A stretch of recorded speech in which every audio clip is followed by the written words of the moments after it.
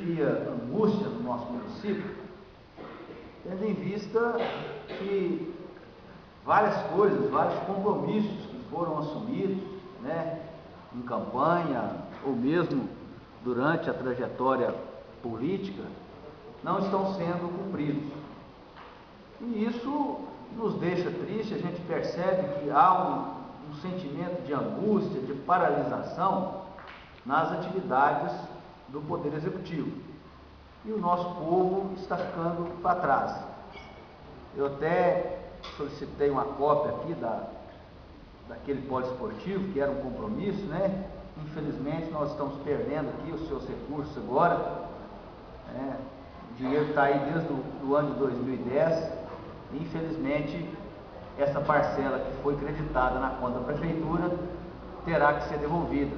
Né? Mais uma obra que nós estamos perdendo. A empresa Empreser ganhou uma licitação de um recurso que o governo do estado mandou, até por interferência do deputado Inácio Franco, é, relativo ao asfaltamento de todo o bairro Jardim América, de algumas ruas do São José e de toda a área central. Desses recursos, 500 mil reais estão creditados na conta da prefeitura desde o ano passado e até hoje as obras não iniciadas. É, a gente agora não sabe se a empresa não vai realizar mais, ela ganhou licitação em dezembro, era para ter começado o serviço em março e até hoje é, nada. A gente tem algumas informações não oficiais falando que a empresa não, não vai fazer, não quer fazer, não pode fazer devido à falta de pagamento. Então, assim, são essas informações que a gente, que a gente fica sabendo, que a gente tem, e nos deixa, até certo ponto, angustiados. Porque, independentemente da questão de situação, de oposição, o que a gente quer é que a cidade tenha também né, os seus recursos bem aplicados e que as obras aconteçam, que as obras sejam realizadas. E isso né, a gente está vendo aí essa questão do aterro sanitário, e eu estou falando desse aterro sanitário desde o primeiro dia de mandato, né, que é um sonho para Bom Despacho, que é um compromisso né, que os nossos governantes teriam que ter com, com o meio ambiente, com essa questão do, do, da coleta seletiva, né, da coleta separada. Então, assim, quase todas as reuniões a gente tem falado nisso aqui, tem debatido, é um consenso de todos né, os vereadores, e é, essa obra é extremamente necessária para o município. Né? O aterro, o, lixão onde está hoje não suporta mais. E agora né, vem essa questão aí que foi firmado um compromisso, um termo de, de ajuste de conduta entre o município e o Poder Judiciário, que também não está sendo cumprido. Então, realmente nos deixa triste essa situação de paralisia né, que vive o município nos dias de hoje. Nós estamos com um problema aí com a cadeia pública, né? não sabe se vai ser construído onde a cadeia está atualmente, apesar que ela não está funcionando, está né? Gerando um grande transtorno para toda a comunidade, né? as pessoas que estão sendo presas, estão sendo é, é, transferidas para outras cidades, gerando transtorno para, né, para a família, para os advogados, enfim, para todo o processo. Então nós estamos também né, sem cadeia. Já foi noticiada aqui também a questão do, de juiz, né? nós temos só um juiz e agora também está de férias. Então há mais uma paralisia no município.